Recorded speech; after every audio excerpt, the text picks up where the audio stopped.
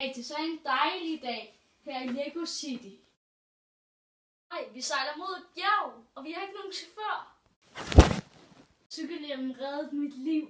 Derfor, børn, at I skal huske at tage cykelhjelm på. Ellers kommer vi efter jer.